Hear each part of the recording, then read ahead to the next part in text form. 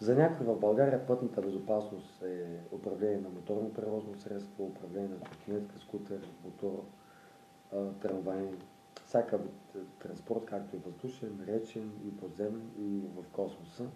Но пътната безопасност, това е и таксата за сграда, както отвътре отвънка, отвънка отвътре, за минимума, като по законодателство винаги, ако е проблем от ДКЕВР, примерно електроразпределителните дружества, винаги те се оправят за тяхна сметка, защото пък се засегнете и останалите блок, блокове и така нататък.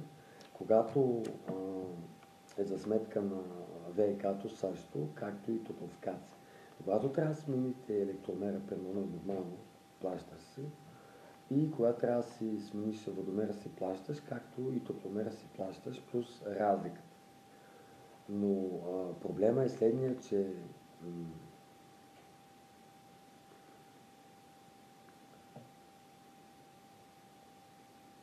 има в правосъдието, те такива като мен не ме харесват, консултантите, от економическа гледна точка за правото, защото имам стажа за 3 години.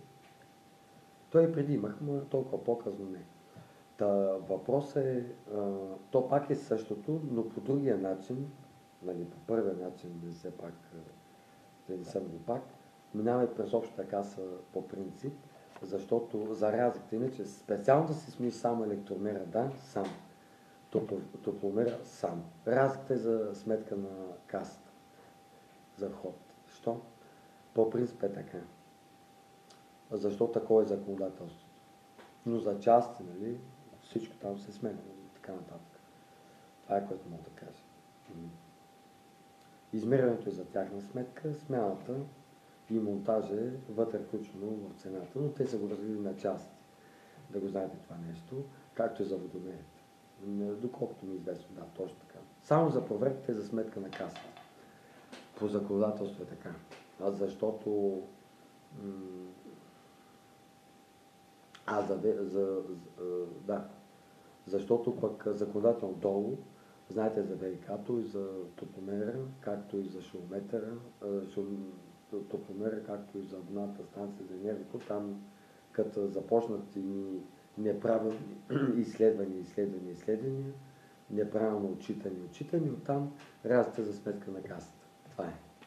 Законодателно, такива като мен много ме мразят, но и това е вярно. Но когато се превърне с шуметърна вълна, заедно с автомобилите и така нататък, трябва да се апгрейднат софтуерите по нов метод, модерен. Проверките, не само проверките, и ремонтите по нов метод. Да.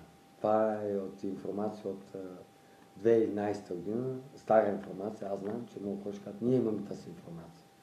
Така е. И аз какво да направя? Или ако някоя жена с дете, с деца каже, или тълкува се изказването. Ние всички имаме тази информация. Да, обаче пак има проблем.